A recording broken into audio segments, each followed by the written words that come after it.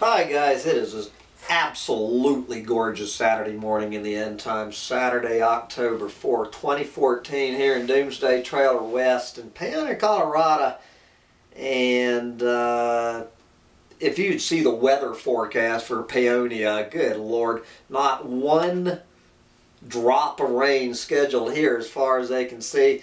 But anyway, uh, I just wanted to do a quick mention of this story down near the bottom, down near the bottom of Yahoo News today. We have this story out of Miami from Reuters News.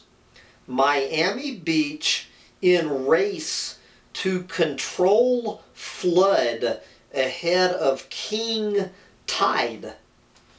Miami Beach, Florida Construction crews are wading into chest-high pools of muck in a race against time to install pumps Miami beach officials hope will help control an annual super high tide threatening to flood South Florida's popular seaside city next week. And so this is going to be October 9th. So about Wednesday of next week, a so-called king tide is expected to push almost an extra foot of water onto streets, going over seawalls, and forcing residents to wade through flooded streets. And this is, as they point out, an annual event causing widespread damage, but with the passage of each year, the annual event uh, is going to cause a little more widespread damage. Uh, let's see. The event caused by the alignment of the sun, moon, and earth provides a taste of the potential impact of a longer term two foot sea level rise predicted for South Florida by 2060, according to the U.S. Uh, Geological Survey. The low lying greater Miami area, with a population of 5.7 million people, is one of the world's most at-risk urban communities, scientists told a U.S. Senate subcommittee uh, hearing in April. And the king tide is expected over the next few years to rise to almost four feet.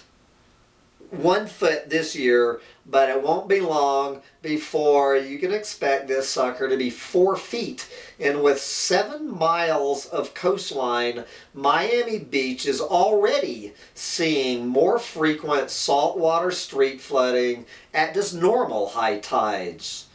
And uh, let's see, the city has set aside up to $4 million to install 50 pumps in the coming years in what some say is a vain effort to protect an estimated $23 billion of real estate in Miami.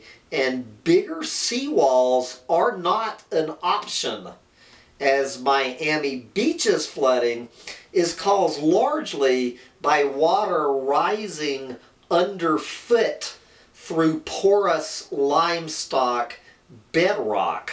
And uh, there you go.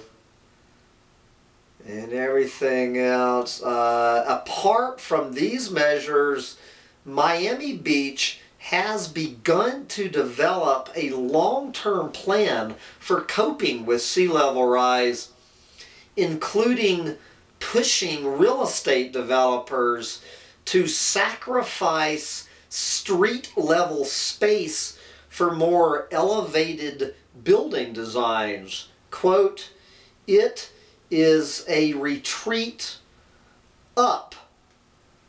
And retreating up is critical to quell concerns of insurers and lenders backing the city's blockbuster development. Quote from this Morales guy, whoever he is, in order to keep Miami's real estate market hot, we need to assure people we understand who uh, we need to assure people who understand this what is going on in Miami that we are doing everything in our power. Do you wait till the water is at your ankles and knees? There you go. So that's the news out of Miami Florida awaiting the king tide on Wednesday. And uh, anyway, guys, obviously, as Rolling Stone magazine was reporting a year ago, it is time to kiss Miami Beach and the Everglades goodbye. And uh, with that, I will say bye, guys.